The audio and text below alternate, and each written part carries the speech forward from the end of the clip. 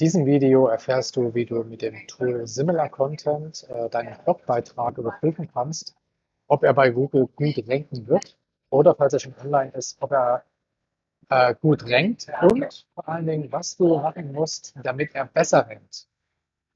Und zwar nehmen wir jetzt mal hier als Beispiel einen Beitrag von Tanja, Geld verdienen und Kleinanzeigen flipping. Ich nehme an, dass das hier schon das Keyword ist. Ähm, Du kopierst dir zunächst mal den Beitrag, die URL und öffnest Similar Content. Falls du den Zugang noch nicht hast, dann äh, schreib mich bitte nochmal an, damit ich ihn dir gebe. Jetzt gucken wir uns mal nicht an, was das hier grundsätzlich ist alles, sondern wir schauen uns nur den Content Optimizer an. Hier gibt es verschiedene Möglichkeiten. Einmal kannst du es reinschreiben, einmal kannst du es rüber kopieren. Das mache ich jetzt. Ich füge also hier nur den Link ein und sage, fetch mir den Text extrahiere den Text aus, aus dem Beitrag. Und jetzt kann ich noch sagen, äh, auf welches Keyword soll das optimiert werden. Ich nehme jetzt mal dieses Keyword hier. Es macht sowieso Sinn, das Hauptkeyword in der Überschrift zu haben. Und achte darauf, dass hier Deutsch eingestellt ist und dass hier in der Search Engine auch Deutsch eingestellt ist. Und dann suchst du. So, was macht er jetzt?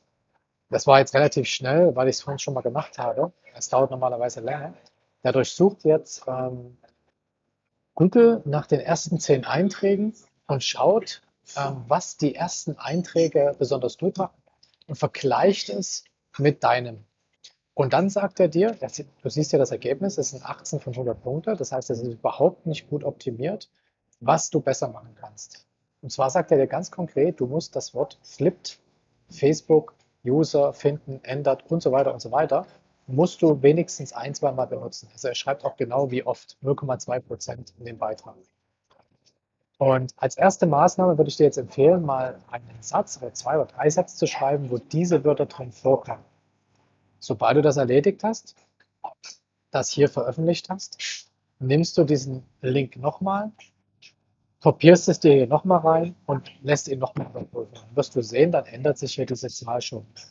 Und ähm, ja, ich weiß nicht, ähm, wie gut oder schlecht das Ganze ist. Ich kann dir nur eins sagen, die Beispiele, die ich bei mir jetzt schon gemacht habe, bei den Beiträgen, ich glaube so fünf Beiträge, funktioniert das unfassbar gut.